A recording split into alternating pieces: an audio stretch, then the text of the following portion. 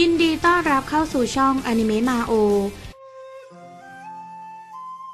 ชิงสุยยังคงนิ่งเงียบและไม่ได้มองหน้าของหญิงสาว เธอเดินเข้ามาใกล้เขาแต่ชิงสุยยังไม่แสดงท่าทีตอบสนอง เพราะเขารู้สึกว่าเขาไม่สามารถยอมรับข้อตกลงนี้ได้ ดูสิพวกเราก็พบก้านของย่าทะลวงสวรรค์แล้วนี่ มันยังไม่เพียงพองั้นหรือหญิงสาวขมวดคิ้ว เธอถามเขาอย่างสงสัยสีหน้าเธอมุ้ยเล็กน้อย แต่ก็ยังคงหน้ามองข้าต้องการอย่างน้อยอีกก้านหนึ่ง ชิงสุยฝืนหัวเราะขณะที่เขามองเธอตอนนี้พวกเราเจอก้านของมันในรูปปั้นเทวะ ถ้าอย่างนั้นลองค้นหากันอีกหน่อยแล้วกัน เผื่อจะมีรูปปั้นเทพอื่นๆ อีกหญิงสาวพยายามปลอบใจชิงสุย เขารู้ว่าเธอพยายามกลี้กล่อมให้เขาไม่เข้าไปในส่วนลึกของหุบเขาทะลวงนภา และมันไม่ใช่เรื่องง่ายที่จะพบรูปปั้นเทวะ ที่พวกเขาเจอรูปปั้นเทวะวันนี้ก็นับเป็นโชคชั้นใหญ่แล้ว ขอบคุณแต่ไม่มีเกิดขึ้นกับข้าแน่ๆ ชิงสุยยังคงไม่ยอมรับญาติทะลวงสวรรค์จากเธอและส่งวายุเพชฌฆาตกับหินสุริยาไปให้เธอแทน นี่ความหมายว่ายังไง ของพวกนี้เป็นของของเจ้าถึงข้าจะห้ามเจ้าไม่ได้ แต่เจ้าควรจะคิดให้รอบขอบเจ้าไม่ใช่คนไร้เหตุผลนี่ หญิงสาวถอนหายใจ ก่อนจะวางย่าทะลวงสวรรค์ไว้ในมือของชิงสุยก่อนจะเดินไปสู่ทางออก ชิงสุยลังเลก่อนเขาจะเก็บของทุกอย่างไว้ในดินแดนหยกยุพราชาอมตะ แล้วเดินตามเธอออกไปเขาเห็นหญิงสาวยืนรออยู่ที่ปากถ้ำเธอพูดต่อราวกับไม่มีเรื่องอะไรเกิดขึ้น ไปกันเถอะบางทีอาจจะมีญาติทะลวงสวรรค์อยู่แถวแถว นี้อีกเดี๋ยวก่อนนี้เป็นของที่ข้าอยากให้เจ้า ชิงสุยตะโกนเรียกเธอ ของพวกนี้มีค่ามากเกินไปและเขาไม่รับมาโดยไร้ข้อแลกเปลี่ยน เขาจึงอยากจ่ายชดเชย เธอเพื่อที่เขาจะได้รู้สึกว่าไม่ได้ติดหนี้เธอ หญิงสาวยิ้มขณะที่เธอมองที่ชิงสุยและตอบว่า ไม่เป็นไรไม่จำเป็นต้องเกรงใจหรอกการเดินทางนี้เจ้าก็เหมือนเพื่อนของข้าถือซะว่าเป็นการช่วยเพื่อนแล้วกันนะ ถ้าเจ้าไม่ยอมรับมัน ข้าจะคืนของทั้งหมดให้เจ้า ชิงสุยพูด ประโยคนี้บังคับให้เธอไม่มีทางเลือก เว้นเสียแต่จะพยักหน้ารับเพียงอย่างเดียว ชิงสุยเตรียมสิ่งนี้ไว้ตั้งแต่คืนก่อนดังนั้น ชิงสุยจึงโยนมันไปให้เธอ ของนั่นอยู่ข้างใน ดังนั้นเจ้าค่อยเปิดดูทีหลังจะดีกว่า ในนั้นมีกระดาษอยู่ค่าเขียนทุกอย่างลงไปหมดแล้ว ได้สิไม่มีปัญหา หญิงสาวตอบและรับมาเก็บไว้แม้ว่าเธอจะไม่รู้ว่าสิ่งที่เขาให้เธอมาคืออะไรแต่เธอรู้สึกว่าน่าจะเป็นของที่ดีกว่ารูปปั้นเทวะ ชิงสุยจึงบอกให้เธอเปิดมันในภายหลัง เมื่อพวกเขาเดินออกมาจากถ้ำก็เป็นเวลานานแล้วเขาได้ยินเสียงนกหวีดในระยะไกล ชิงสุยและหญิงสาวและหมูป่านักล่าสมบัติจึงมุ่งหน้าไปที่จุดรวมตัว ชิงสุยแงนมองท้องฟ้าขณะที่พวกเขาอยู่รอบเทือกเขาดวงอาทิตย์เหมือนจะขึ้นเร็วกว่าเวลาปกติ เนื่องจากสภาพแวดล้อมรอบๆ ทั้งเทือกเขาที่สูง หุบเขาลึกและมืดเมื่อพวกเขามาถึงทุกคนรวมตัวกันอยู่ที่นั้นแล้ว นอกจากนี้ยังมีแพะภูเขาที่เพิ่งฆ่าสดสดสองตัวแม้ว่าสถานที่แห่งนี้เป็นสถานที่อันตรายแต่ก็ยังมีสัตว์ป่าอาศัยอยู่ ภายใต้แรงกดดันสัตว์ป่าส่วนใหญ่ไม่ได้รับผลกระทบแต่อย่างใด เพราะบางคนอาจทนได้ แต่บางคนอาจทนไม่ไหวบางทีความดันนี้อาจจะเป็นสิ่งที่ข่มขู่ให้ทุกคนหวาดกลัว หากไม่พูดถึงอันตรายจากสถานที่ ที่นั้นจะมีสัตว์อสูรระดับต่ำต่ำเกรดต่ำและสัตว์ป่าอาศัยอยู่ ซึ่งพวกมันเป็นพวกชั้นต่ำสุดในห่วงโซ่อาหาร แต่มีจำนวนมากที่สุด เพราะมีจำนวนมากสุดพวกมันจึงอยู่รอดมาจนถึงวันนี้ การทำอาหารกลายเป็นนิสัยของชิงสุยไปแล้ว โดยเขาจะรับหน้าที่ทำอาหารอย่างน้อยวันละครั้ง โดยเขาได้รับเครื่องเทศต่างๆ มาจากเทือกเขาชิงสุยสอนคนอื่นๆ เกี่ยวกับการใช้เครื่องเทศนี้จึงทำให้คนอื่นๆ เริ่มรักในการทำอาหารแม้ว่าทักษะของพวกเขาจะห่างชั้นจากชิงสุย แต่พวกเขาก็สามารถทำอาหารที่รสชาติถูกใจพวกเขาได้ เนื้อแกะย่างและน้ำซุปเนื้อแกะตุน๋น เนื้อแกะนั้นนุ่มและมีรสชาติดีเนื้อแกะถูกย่างจนเป็นสีเหลืองทองและเนื้อแกะย่างถูกจัดบนถาดอย่างเรียบร้อย เนื้อนุ่มๆที่มีกลิ่นหอมรสชาติเยี่ยม นี่คือครึ่งหนึ่งของส่วนที่จะขึ้นต่อไปบนเทือกเขา ทิวทัศน์ของที่นี้ดีและอากาศก็สดชื่นมาก เมื่อยืนอยู่ที่นี่ไม่ว่าใครก็ต้องรู้สึกผ่อนคลาย พวกเขากางซุ้มที่นอนและทานอาหารจนเรียบร้อย พวกเขาจึงแยกย้ายกันไป บ้างก็เล่นเกมหรือทำกิจกรรมอื่นๆ ชิงสุยกลับไปที่ซุ้มที่นอน เพราะถึงเวลาที่เขาต้องเข้าไปในดินแดนหยกยุพราชอมตะเพื่อฝึกฝนแล้ว เมื่อเข้าไปในดินแดนหยกยุพราชอมตะ ชาวมองไปที่ภาพโฉมงามลำดับที่ 8 ซึ่งอยู่บนพื้น มันถูกเปิดออกความเยือกเย็นและสายตาของหญิงสาวในภาพกำลังจ้องมองมาที่ชิงสุย เขาถอนหายใจก่อนจะหยิบภาพวาดขึ้นมาและแขวนไว้ไปแขวนร่วมกับภาพโฉมงามชิ้นอื่น ๆ ทุกครั้งที่มองรูปภาพเหล่านี้เขารู้สึกเหมือนต้องมนต์สะกดทุกครั้ง หินสุริยาระดับ 8 เพิ่มความแข็งแกร่งให้ 200%มันจึงไม่ด้อยไปกว่าโล่ทองอินทนินศักดิ์สิทธิ์เลยประโยชน์ของโล่ทองอินทนินศักดิ์สิทธิ์นั้นคือความสามารถเสริมด้านอื่นๆ นั้นก็หมายความโล่ทองอินทนินศักดิ์สิทธิ์ต่างหากที่ด้อยกว่าหินสุริยาอยู่มาก น่าเสียดายที่เขาฝังหินนินการลงไปแล้ว จึงไม่สามารถฝังอัญมณีอื่นลงไปได้อีกบางทีเคล็ดการสรรสร้างขั้นที่สี่อาจจะนำอัญมณีชิ้นนี้ไปใช้ด้วยได้ ต่อมาชิงสุยหยิบเคล็ดวิชาต่อสู้ระดับปฐพีสูงสุดวายุเพชฌฆาตเขาไม่เคยมีอคติต่อเคล็ดวิชาในระดับใด ๆ ก็ตาม ราะชิงสุยเองก็สามารถใช้เคล็ดวิชากระบี่พื้นฐานได้อย่างยอดเยี่ยมจนพัฒนาเป็นระดับสวรรค์ขั้นเริ่มต้นได้ ดังนั้นชิงสุยจึงไม่ค่อยสนใจเรื่องระดับของเคล็ดวิชาการต่อสู้ เคล็ดวิชาการต่อสู้มีความแตกต่างกันตั้งแต่ระดับโฮเทียน ระดับเซียนเทียน ระดับตำนานและพระเจ้าซึ่งภายในระดับเซียนเทียนและระดับตำนานจะมีคือระดับปฐพีแทรกอยู่ โดยวายุเพชฌฆาตเป็นเคล็ดวิชาในระดับปฐพี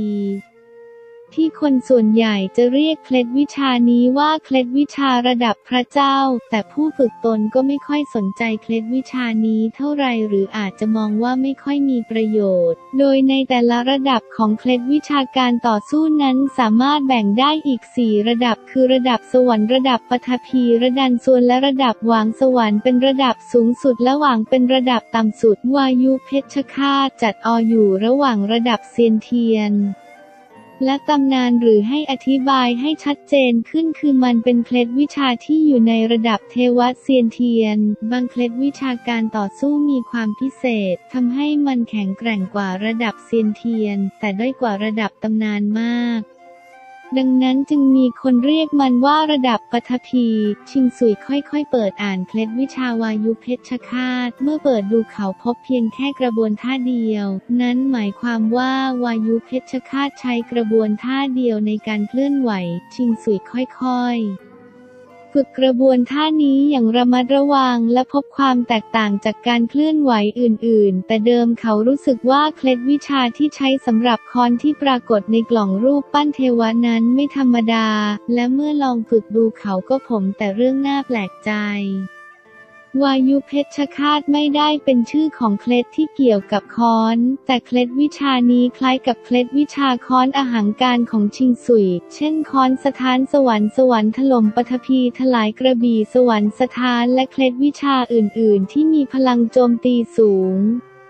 แต่มีบางอย่างที่แตกต่างกันไปเล็กน้อย ชิงสุยมองวายุเพชฌฆาตราวกับเขากำลังจมลงไปในความคิด แม้กระทั่งกลิ่นอายของจิตใต้สำนึกของชิงสุยก็เริ่มเปลี่ยนแปลง ทันใดนั้นชิงสุยกำมือขวาแน่นขาซ้ายของเขาค่อยๆ เคลื่อนไปข้างๆ ชิงสุยใช้มือขวาทุบหน้าอกตัวเอง กำปั้นนี้ดูน่าอึดอัด แต่ทำให้เขารู้สึกแปลกๆ เมื่อได้ลองเคลื่อนไหวตามนั่นคือความรู้สึกของพลังอำนาจที่รุนแรง วายุเพชฌฆาตเขาเข้าใจแล้ว ในเวลานี้ชิงสุยรู้สึกตื่นเต้นมากที่ค้นพบว่าพลังของกำปั้นนี้ได้รวมเคล็ดวิชาค้อนอาหางการเข้าด้วยที่เขารู้จักค้อนสถานสวรรค์สวรรค์ถล่มปฐพีถลายกระบี่สวรรค์สถานและเพลงกระบี่ผ่าขุนเขา ทุกอย่างสามารถเอามารวมกันได้อย่างไรก็ตามพลังในการผสานกันนั้นยังน้อยมาก ถ้ามีการผสานกันมากกว่า 50%แต่ละเคล็ดวิชาก็น่าจะรวมเป็นหนึ่งเดียวกันมากขึ้นแข็งแกร่ง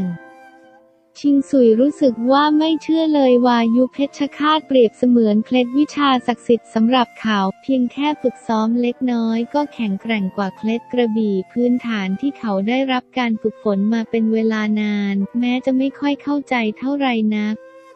ความก้าวหน้าของเคล็ดกระบี่พื้นฐานดูเหมือนจะดำเนินไปค่อนข้างช้า ในทางกลับกันเขารู้สึกว่าเคล็ดวิชากระบี่ฐานนั้นสามารถฝึกต่อไปได้เรื่อยๆ ตามทฤษฎีนั้นถือว่าถูกต้อง แต่มนุษย์มีข้อจำกัดเรื่องศักยภาพและอายุไข ดังนั้นเขาไม่ทราบว่ามีเคล็ดวิชาใดบ้างที่เขาสามารถนำมาผสานกันได้ เคล็ดวิชาวายุเพชฌฆาตเปรียบเสมือนฝนที่ตกหลังจากผ่านหน้าแล้งสำหรับเขา ชิงซุยรู้สึกตื่นเต้นจนตัวสั่นและไม่สามารถหยุดฝึกได้ การฝึกฝนซ้ำแล้วซ้ำอีกความเร็วในการใช้เคล็ดวิชานี้จึงเร็วและเร็วขึ้นเรื่อยๆ ความแข็งแรงของหมัดก็ค่อยๆ เพิ่มขึ้นอย่างช้าๆ ก่อนชิงสุยจะเริ่มใช้หมัดในองศาที่แตกต่างกันไป ชิงสุยรู้ว่าเขาต้องใช้ค้อนแทนหมัดของเขา ความรู้สึกที่พรั่งพรูออกมาทำให้เขารู้สึกเหมือนลอยเข้าสู่ห่วงแห่งความฝัน และดูเหมือนว่าเขาจะไม่สามารถหยุดได้ เป็นความรู้สึกเหมือนลอยตัวอยู่บนคลื่น เขาไม่ต้องการจะหยุดฝึกเพราะถ้าทำเช่นนั้น เขาอาจจะรู้สึกขาดใจตายก็ได้ ชิงสุยไม่รู้ว่าเวลาผ่านไปเท่าไหร่ ก่อนชิงสุยค่อยๆ หยุดพักหลังจากเขาหักโหมในการฝึก เขาเดินไปล้มตัวลงนอนบนพื้นดินและหลับไป เขาใช้พลังวิญญาณมากเกินไปและใช้ภาพหยินหยางไปโดยคาดคิดทำให้เขาหมดสติไปเมื่อชิงสุยตื่นขึ้นมาเขาไม่รู้ว่าเวลาล่วงเลยไปเท่าใด แต่ร่างกายของเขาฟื้นตัวด้วยพลังวิญญาณเต็มเปี่ยม ตอนแรกเขาตั้งใจจะกินยาฟื้นพลัง แต่ตอนนั้นเขาไม่ได้อยู่ในช่วงระหว่างการต่อสู้ ชิงสุยจึงตัดสินใจพักผ่อนเพื่อฟื้นฟูกำลัง ชิงสุยยืนขึ้นและสงบสติ เขากำหมัดขวาและปล่อยหมัดออกไปทันที หมัดของเขายังไม่สมบูรณ์พอแต่เขากลับรู้สึกภาคภูมิใจราวกับว่าเขาได้ช่วงชิงเคล็ดวิชา ซึ่งเป็นผลงานช่างฝีมือสวรรค์มาไว้ในมือ ศิลปะการต่อสู้ที่ยิ่งใหญ่และมีพลังซ่อนเร้นอยู่ ชิงซุยนึกถึงความรู้สึกที่เขามีปล่อยหมัดแรก ก่อนหน้านี้เขารู้สึกราวกับว่าเลือดในร่างกายของเขาได้สูบฉีดและเดือดพล่าน พลังมหาศาลที่อยู่อยู่ก็เพิ่มขึ้นมาทำให้ทั้งร่างของเขารับรู้ถึงพลังงาน เพียงแต่เขาไม่สามารถนำมาใช้ได้อย่างสมบูรณ์วายุเพชฌฆาตอย่างไรก็ตามการโจมตีครั้งนี้ดูเหมือนจะใช้พลังวิญญาณจำนวนมาก จุดที่สำคัญคือการเคลื่อนไหวนั้นค่อนข้างช้า ผู้ฝึกตนอาจรู้สึกว่าสามารถหลบมันได้ง่าย ๆ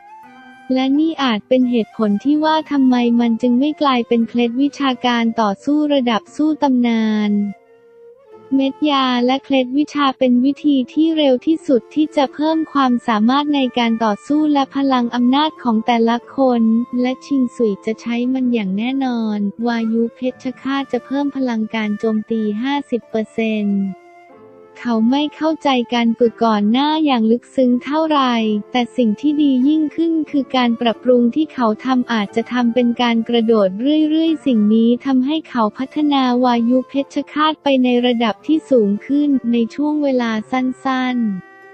ได้เวลาที่เขาต้องทำอาหารเพราะเขาหิวจะแย่แล้วในขณะที่ชิงซุยฝึกอยู่ในดินแดนยุพราชอมตะ ในซุ้มนอนอีกซุ้มหนึ่งมีหญิงสาวกำลังนั่งอยู่ในอาการงุนงง เธอมองสิ่งของบนโต๊ะ ซึ่งเต็มไปด้วยของมากมายทั้งดอกท้ออมตะ ต้นเบญจธาตุผลมะยมแดงและยาสมุนไพรจำนวนมาก หรือแม้แต่เหล้าของทั้งหมดล้วนแต่เป็นของล้ำค่า โดยเฉพาะเม็ดยาลึกลับเขาคือใครกันแน่ หญิงสาวจมลงไปในความคิดของเธอผู้คนก็มักจะเป็นเช่นนี้ แม้ความอยากรู้อยากเห็นอาจนำไปสู่ความตายก็ตามที แต่พวกเขาก็ยังอยากรู้ในสิ่งที่ตนปรารถนา เช่นเดียวกับเธอในตอนนี้ หญิงสาวตระหนักว่าเธอไม่เคยรู้สึกอะไรแบบนี้มาก่อน ในอดีตที่ผ่านมาถ้าคนอื่นอยากจะพูดคุยกับเธอ เธอมักจะไม่มีอารมณ์ร่วมในการฟัง และเธอก็ไม่ค่อยสงสัยหรือสนใจอะไรเกี่ยวกับคนอื่นๆ แต่ตอนนี้เธอไม่เข้าใจความรู้สึกของตัวเองเลยสักนิด บางทีทั้งเธอและชิงสุยอาจเป็นคนประเภทเดียวกัน นี่อาจเป็นเหตุผลให้พวกเขาได้มาพบกัน หญิงสาวใส่หัวและเก็บของทุกสิ่งที่อยู่บนโต๊ะ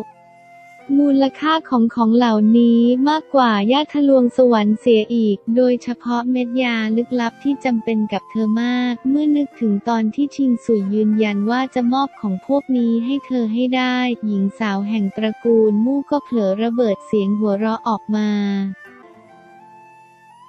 อย่าลืมติดตามรับชมในตอนหน้านะคะ